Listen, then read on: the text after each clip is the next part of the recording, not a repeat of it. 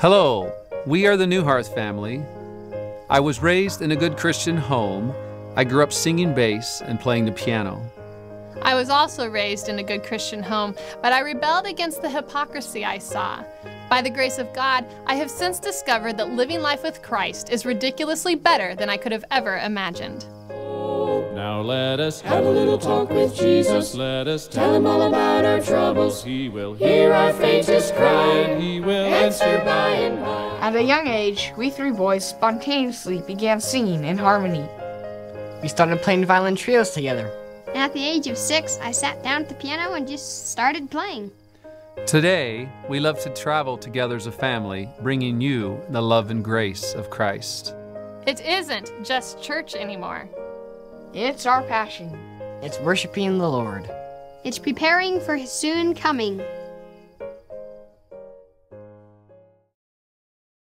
Don't you see my Jesus coming? Don't you see in yonder cloud? With ten thousand angels round him, see how they my Jesus crowd. I am bound for the kingdom, will you go to glory with me? Alleluia, oh praise ye the Lord. Don't you see his arms extended? Don't you hear his charming voice? Each loving heart beats high for glory. Oh, my Jesus is my choice. I am bound for the kingdom. Will you go to glory with me? Alleluia, oh praise ye the Lord. Don't you see the saints ascending? Hear them shouting through the air. Jesus smiling, trumpets sounding, now his glory they will share. I am bound for the kingdom, will you go to glory with me? Alleluia, oh praise ye the Lord. Alleluia, Alleluia, oh praise ye the Lord.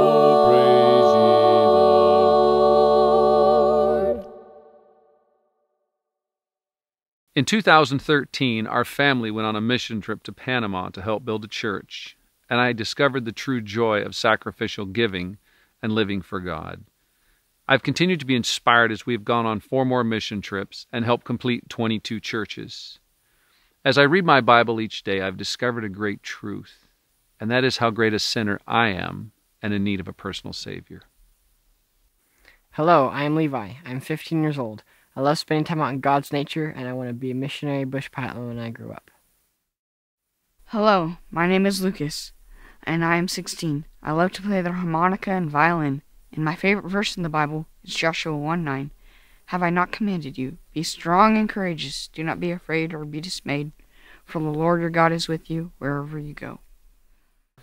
Hi, I'm Benjamin. I'm 12 years old. I love to play the piano and the violin, and I want to be a missionary when I grow up.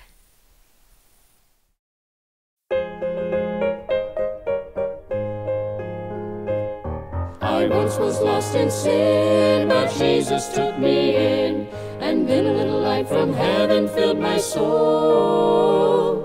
It bathed my heart in love and wrote my name above. And just a little talk with Jesus made me whole. Now let us have a little talk with Jesus. Let us tell him all about our troubles. He will hear our faintest cry, and he will answer by and by. Little prayer will turn, and then you know a little fire is burning. You will find a little talk with Jesus makes it right.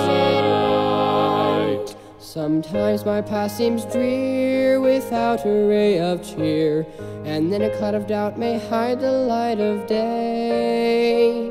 The mists in may rise and hide the starry skies, but just a little talk with Jesus clears the way. Now let us have a little talk with Jesus. Let us tell him all about our troubles. He will hear our faintest cry, and he will answer by and by. When you feel a little prayer will turn, and you know a little fire is burning, you will find a little talk with Jesus makes it right. And makes it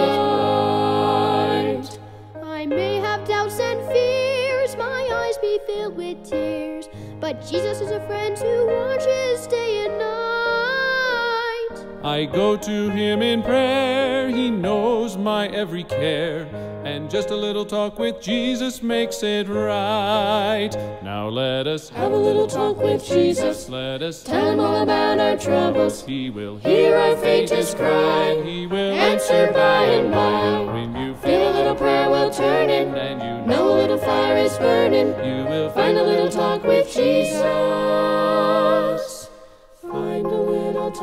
with Jesus. Find a talk with Jesus makes it right.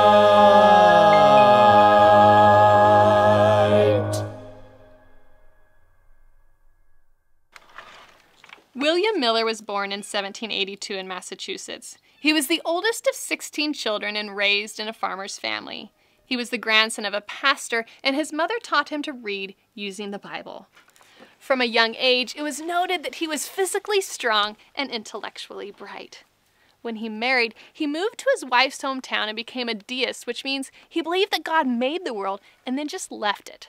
That God did not desire a personal relationship with his creation nor interfere in their lives. William Miller was well liked in the social circle, and for amusement, he would frequently mock preachers and religious matters. He had two Baptist pastors in the family, and when they would attempt to evangelize him, he would silence them very quickly by showing them contradicting Bible verses. On September 11, 1814, William Miller stood on the banks of Lake Champlain as he fought as a captain in the war against Great Britain. There were only 5,500 American soldiers compared to 11,000 well armed British. During battle, a mortar exploded only a few feet away from Miller, but he survived. At the end of the battle, the Americans won. That day, Miller knew beyond a doubt there was a God who had intervened and saved his life and completely changed the course of history. After the war, Miller moved to where his parents lived, and to appease his mother, he would attend church. But he complained about the boring deacons who would read the sermons when the pastor was away. So his mother arranged for Miller to read a sermon. As Miller read a sermon on parenting, he was deeply convicted of his sins and he saw a beautiful, loving Savior. He decided to try reading the Bible for himself, from the beginning to the end. When Miller finished, he discovered there was not a single contradicting Bible verse. He also discovered the prophecy of Daniel 8:14 was about to be fulfilled. Unto 2300 days, then the sanctuary will be cleansed. Well, he reasoned, the sanctuary must be the earth, and the cleansing then must be Christ's second coming.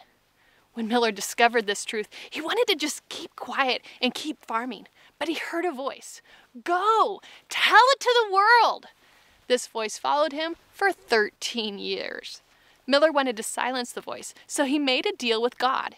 If someone asked him to preach, he would preach. Within half an hour, his nephew, who had left home on horseback the day before, arrived at his door and asked him to preach. Miller was angry at himself and God, and he ran outside in a rage. He did not want to preach, for he feared that he was wrong, but he decided to keep his promise. When Miller returned from that invitation, there was yet another invitation. And for the next 12 years, Miller gave over 4,500 lectures to over half a million people across America. Some thought Miller's conviction was crazy. There was a doctor who would tell people in town that Miller was a monomaniac. So when a family member was sick, Miller sent for that doctor. At the end of the visit, Miller asked the doctor if he would be able to diagnose a monomaniac if he saw one. The doctor said, well, of course. So Miller presented him his understanding of Daniel 8:14. When he was finished, the doctor believed. When I look at the life of William Miller, I see that there's only one way to come to know Christ, and that is through me personally searching the scriptures. We are not saved by our pastor, our spouse, or our parents, but we are saved by a personal relationship with Jesus Christ alone. Let us commit to rising every day and seeking God through the reading of His Word. The Bible is God's love letter to us. He wants to walk and talk with us and guide us through life's circumstances.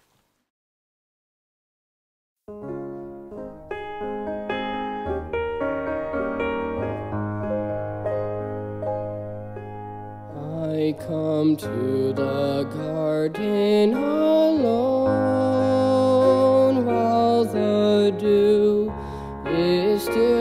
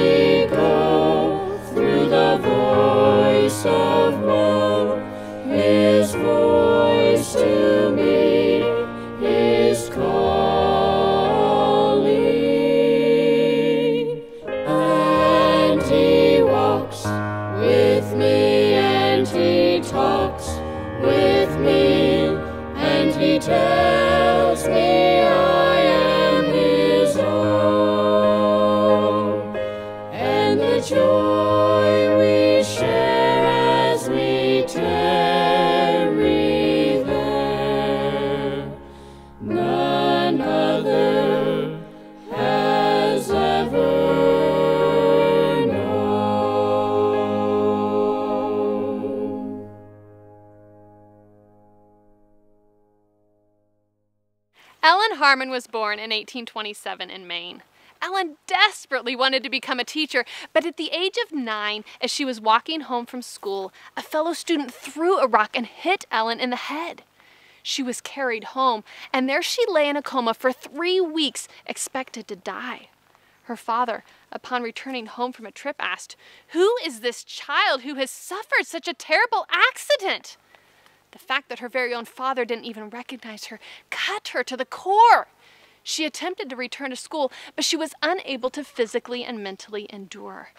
Ellen gave up the hope of ever obtaining an education. As Ellen lay ill around the house, she sank into a very deep and dark depression.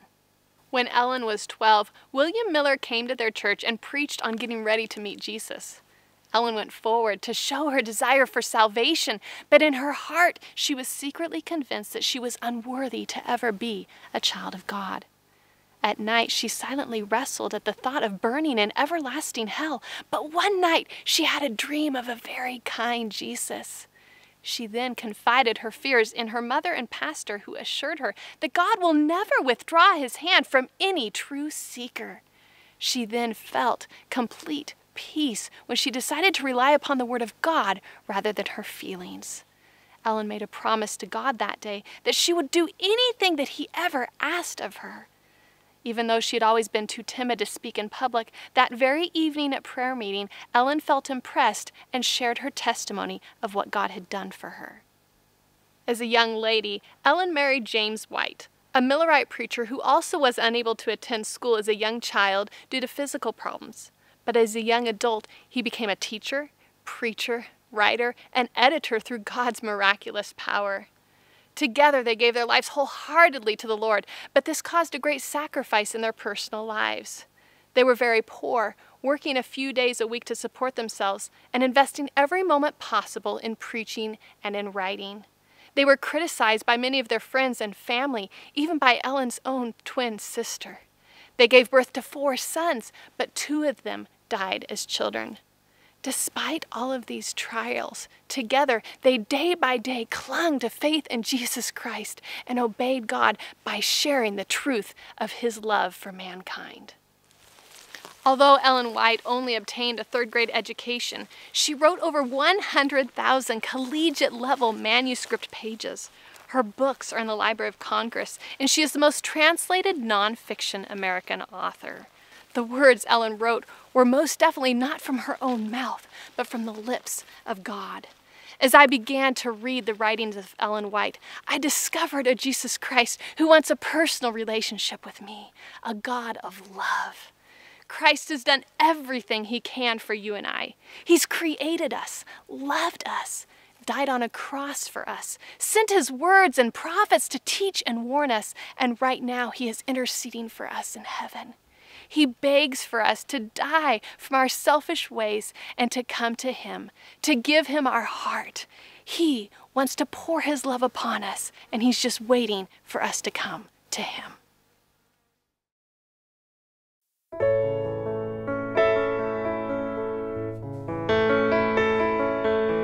In my darkness, Jesus found me, touched my eyes and made me see. Broke since chains that long had bound me, gave me life and liberty. Oh, oh glorious love of Christ, my Lord divine, that saved a soul like mine. Through all my days and then in heaven above, my song will silence never. I'll worship him forever and praise him for his glorious love. Oh, amazing truth to ponder.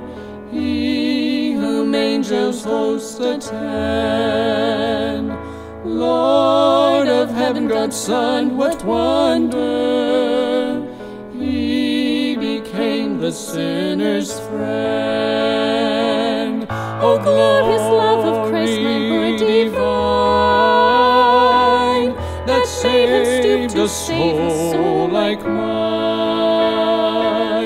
Through all my days and then in heaven above, my song will silence never. I'll worship him forever praise him for his glorious love.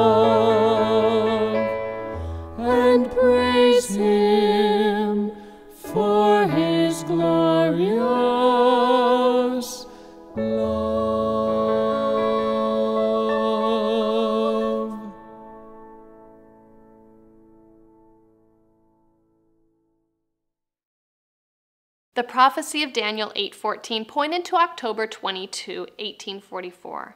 On that day, Hiram Edson and fellow Millerites gathered in his home to sing as they awaited Jesus' coming. They sang all day, but Jesus did not come. As the clock struck midnight, Hiram later wrote, Our fondest hopes and expectations were blasted, and such a spirit of weeping came over us as I have never experienced before. It seemed that the loss of all earthly friends could have been no comparison. We wept and we wept. I mused in my heart, saying, My Advent experience has been the richest and brightest of all of my Christian experience. If this has proved a failure, what was the rest of my Christian experience worth?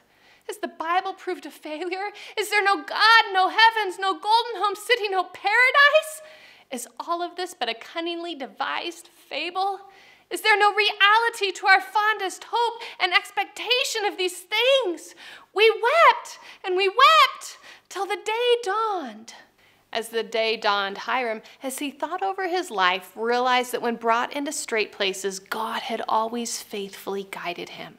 At this thought, he and the other men went out to the barn to pray. They prayed in earnest until they sensed that God had heard their prayer and promised to explain the disappointment and make it clear. The men then, in faith, went inside to eat breakfast. As they finished breakfast, Hiram said to his fellow brethren, Let's go and encourage some of our other brethren. As they stepped out that door and walked across the cornfield, all of a sudden, Hiram stopped. He realized the sanctuary was not on earth. The sanctuary was up in heaven. His mind was quickly drawn to the thoughts of the high priest who would go into the most holy place to judge the earth. Hiram had never done this before, but he quickly ran home, opened his Bible randomly, and pointed to Hebrews 8. There, Paul was discussing Christ in the most holy place. He realized his impression was grounded in the scripture. Hiram sold their wedding silver to pay for a tract to print this Bible truth. Both James White and Joseph Bates read this tract, and within a few months, Joseph Bates showed up at his door and shared with him the Sabbath truth. Hiram had to jump to his feet and said, Brother Bates, the Sabbath is biblical truth, and I am with you to keep it. In 1848, Hiram's farm was the site of an evangelistic Sabbatarian conference. This launched the Sabbatarian Adventist movement that soon became the Seventh day Adventist Church. In 1850, Hiram sold his farm to put money towards spreading God's truth in the Review and Herald. Hiram then built up another farm and only two years later sold it again to spread more of God's truth. No matter what, Hiram did not give up hope, but he did give up his money to spread that hope. We, like Hiram, must keep our eyes fixed on Christ and must continue to persevere and spread the gospel no matter what.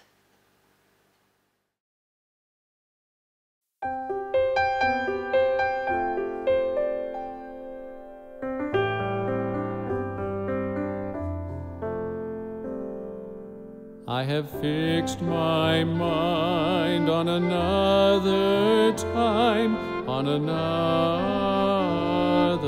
time, and here I mean to stand until God gives me more light, and that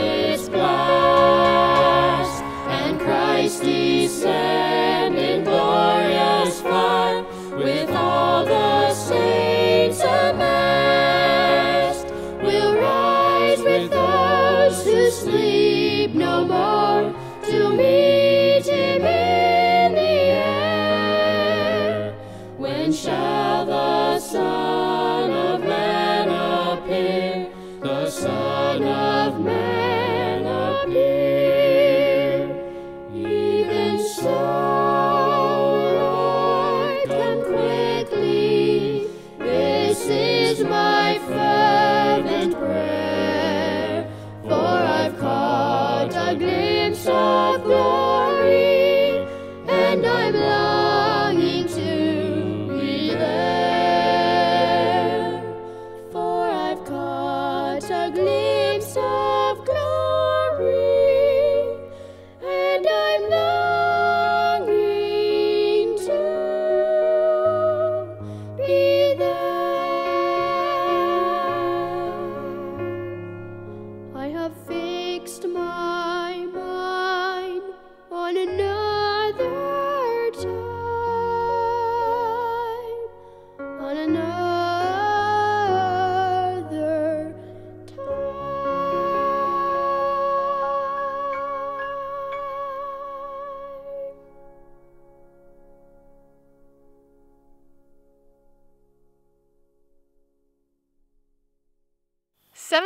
Baptists did not believe it was their job to spread the biblical Sabbath truth. But at their General Conference of 1841, they felt God needed them to share that.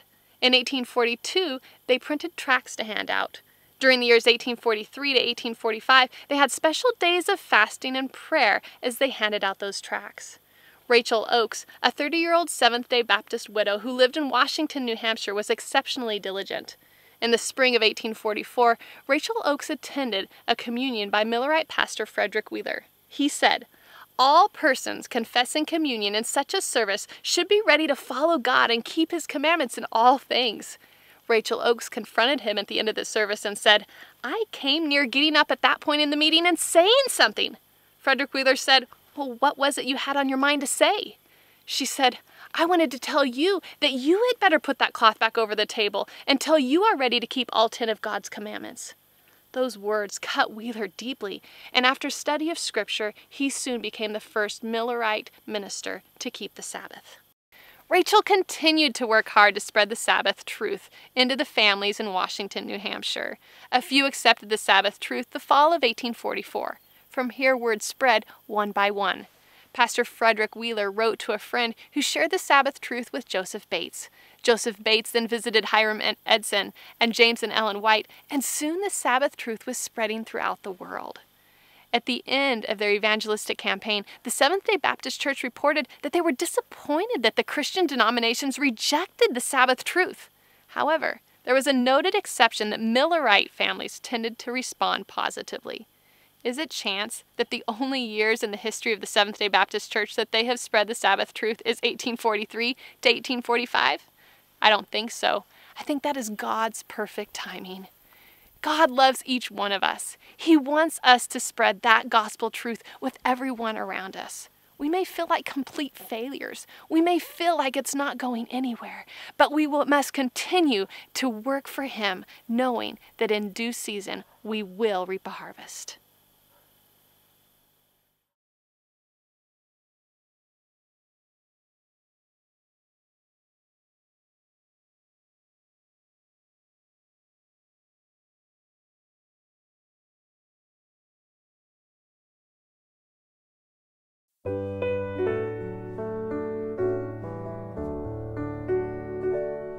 In the harvest field now ripen, there's a work for all to do.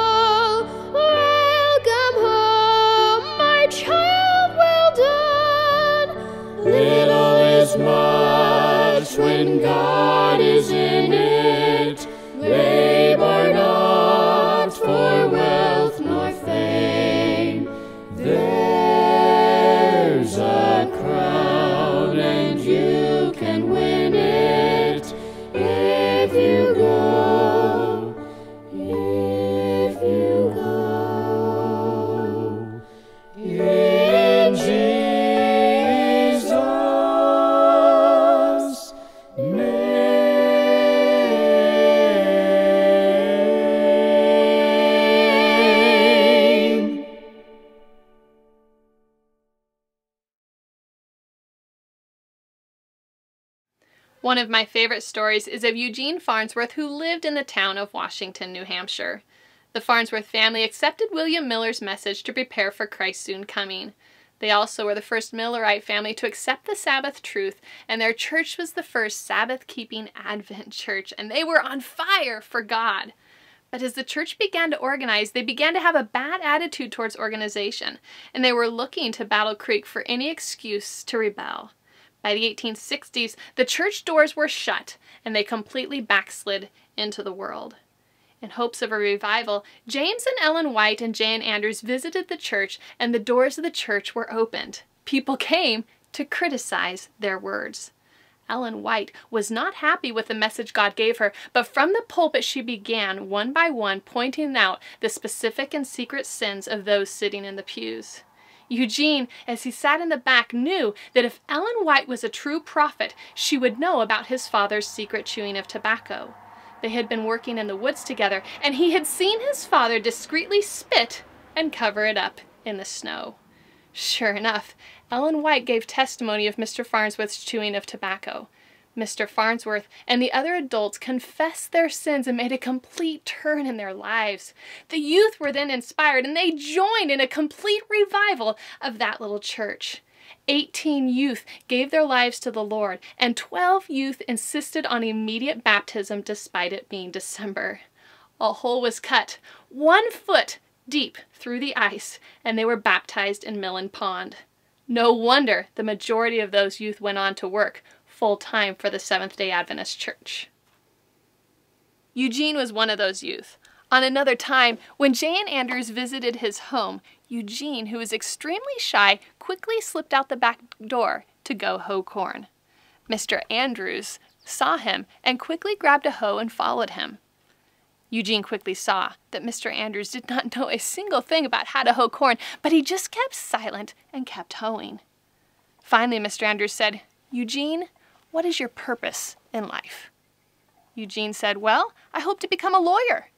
Mr. Andrews said, You might do a good deal worse, and what are you going to do before that? He said, Well, I hope to go to school and get an education. Yes, and what next? Well, I hope to study law. Yes. And then practice law. And what then? Well, I hope to get a job, some money, and a family. Yes, and what next? At this, Eugene began to grow nervous, for he saw exactly what it was. Well, I suppose I shall die. Again, Mr. Andrews responded, Yes, and what next? My son, you take hold of something, something that will help you span that chasm, something that will land your feet on the other side where you will be safe for eternity. Those words changed Eugene's life. He spent his life as a full time missionary for Jesus Christ. Brothers and sisters, our time on earth is short. We, like Eugene, must make a decision today as to where we are going to be for eternity. Living the ways of this world while professing Christianity is pure hypocrisy. We must take hold of Christ with all our heart, all our soul, all our mind, so that we can land safely on that other side. Hebrews 12 says, Therefore, since we have such a great cloud of witnesses surrounding us, let us lay aside every encumbrance and that sin which so easily entangles us, and let us run with endurance that race that is set before us, fixing our eyes on Jesus, the author and perfecter of our faith, who for the joy set before him endured the cross, despising the shame, and has now sat down at the right hand of the throne of God. Let us dare to live for Jesus Christ. Standing by a purpose true, heeding God's command. Honor them, the faithful few, all hail to Daniel's band. Dare to be a Daniel, dare to stand alone. Dare to have a purpose firm, dare to make it known. Many mighty men are lost, daring not to stand, who for God have been a host by joining Daniel's band. Dare to be a Daniel, dare to stand alone. Dare to have a purpose firm, dare to make it known. Many giants, great and tall, stalking through the land, headlong to the earth would fall if met by Daniel's band. Dare to be a Daniel, dare to stand alone. Dare to have a purpose firm, dare to make it known. Hold the gospel banner high unto victory grand. Satan and his host defy and shout for Daniel's band. Dare to be a Daniel, dare to stand alone. Dare to have a purpose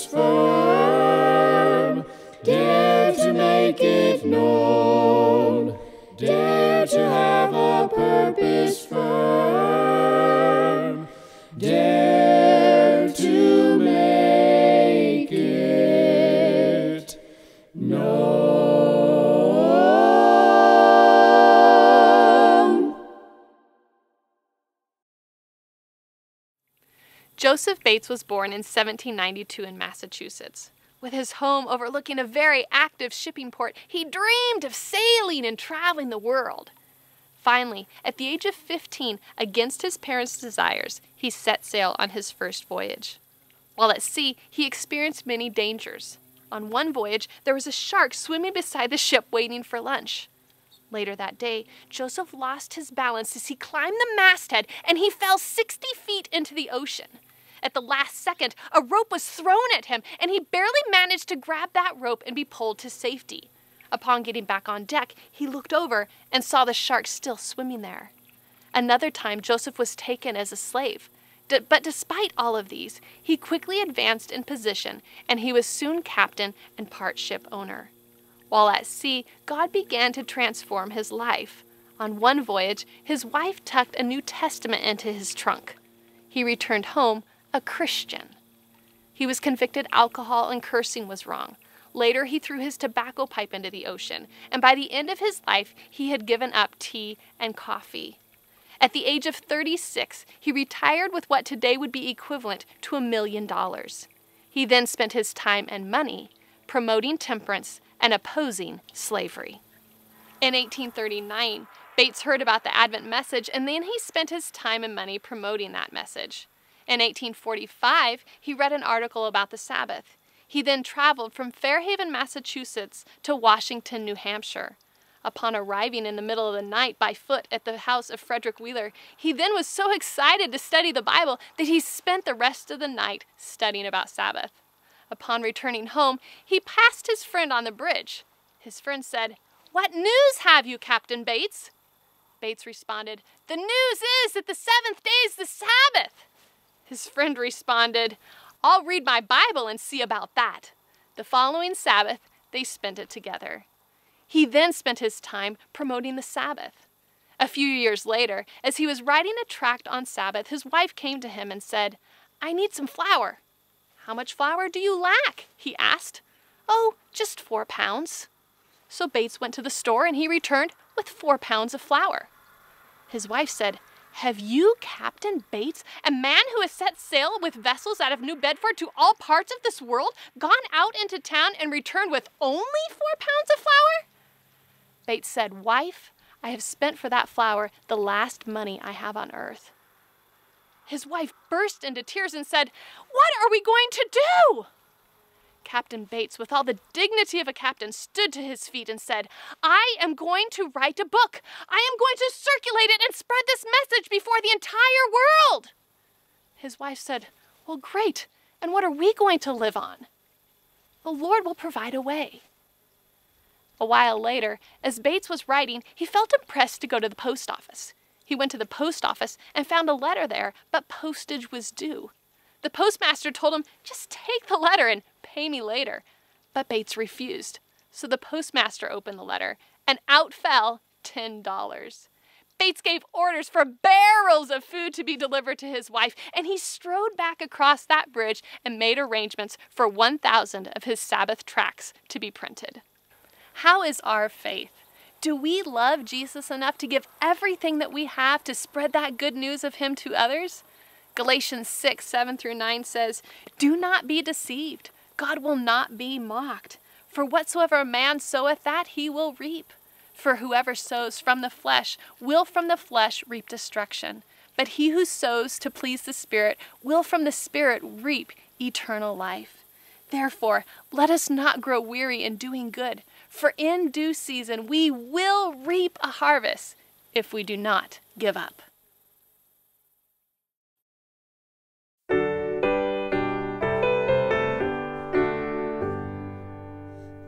I saw one weary, sad, and torn, with eager steps press on the way, who long the hallowed cross had borne, still looking for the promised day.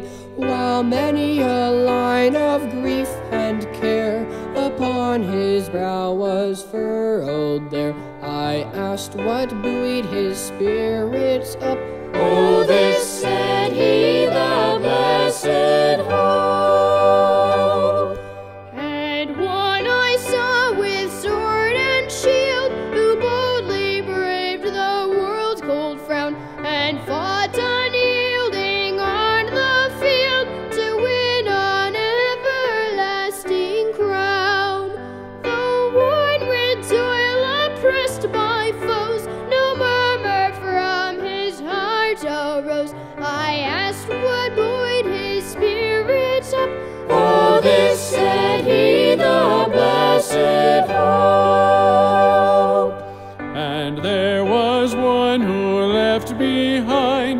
Cherished friends of early years, and honor, pleasure, wealth resigned to tread the path bedewed with tears.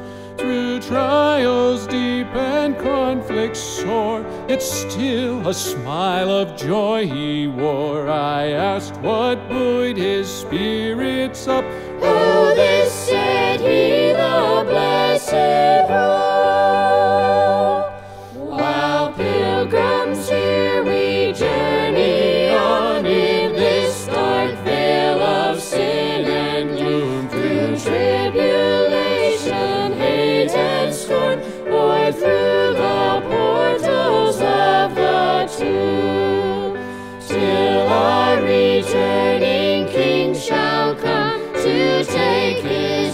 Exiled captives home. Oh, what can buoy our spirits up? Oh, this say we, the blessed.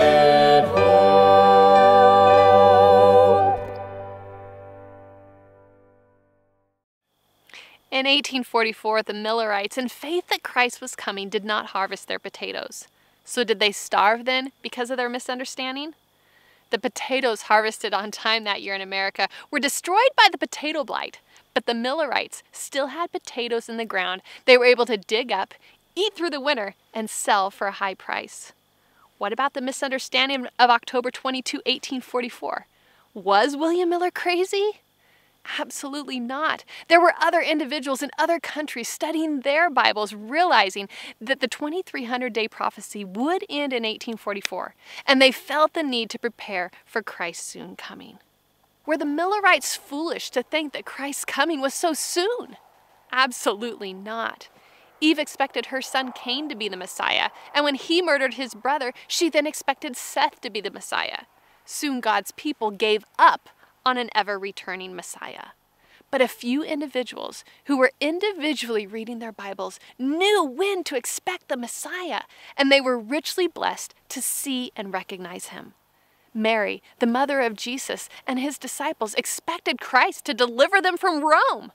But they were wrong. They lived through that great disappointment Friday evening when Christ died on the cross.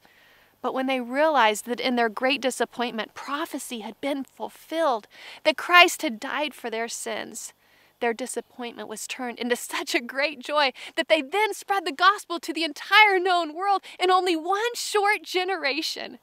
Christ's children expected his return October 22, 1844.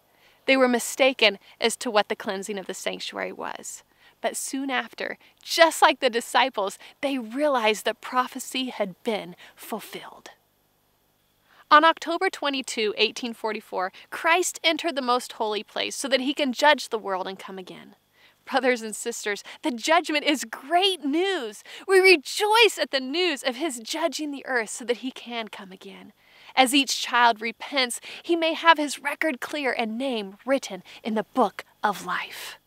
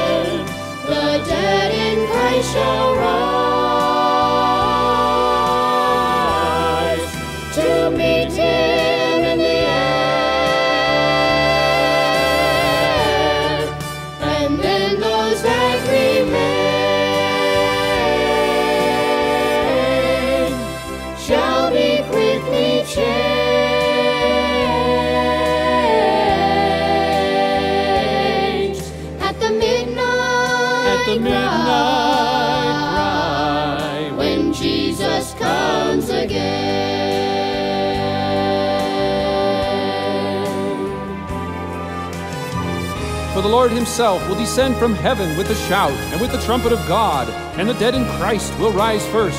Then we who are alive and remain shall be caught up together with them in the clouds to meet the Lord in the air, and thus we shall always be with our Lord. I look around me, I see prophecies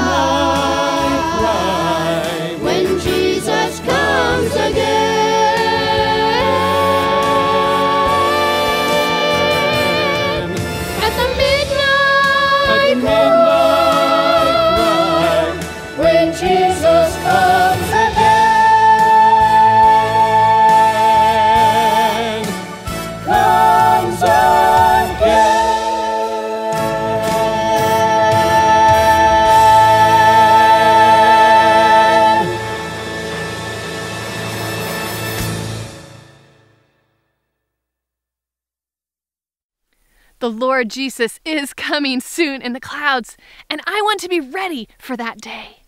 But this is a real spiritual battle. The devil is working hard to get us discouraged. Whether it's by giving us the pleasures of this world so that we walk away, or sending us trials so that we give up on our personal relationship with Jesus Christ. But let us fix our eyes on Jesus Christ. Let us open up the Word and study and remember that day that is soon to come, so that we will be ready to meet Him when we see Him with our very own eyes. I have decided to follow Jesus. I have decided follow Jesus. I have decided to follow Jesus. No turning back, no turning back. Though no one join me, still I will follow. Though no one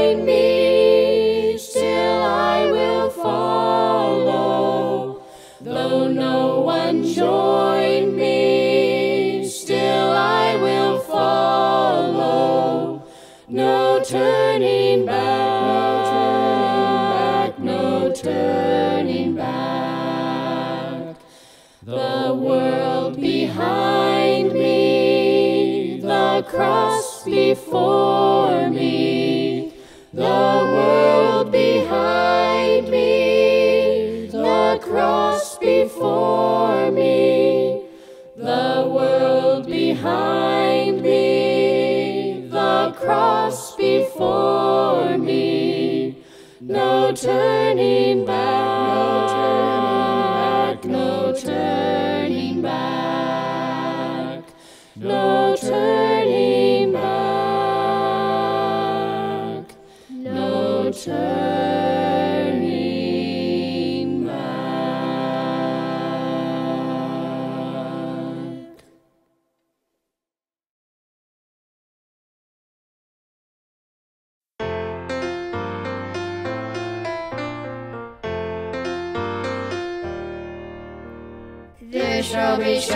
of blessing. This is the promise of love. There shall be seasons refreshing, sent from the Savior above. Showers of blessing, showers of blessing we need. Mercy drops round us are falling, but for the showers we plead. There shall be showers of blessing, precious reviving again. Over the hills and the valleys, send of abundance of rain. Showers of blessing, showers of blessing we need. Mercy drops round us are falling, but for the showers we plead.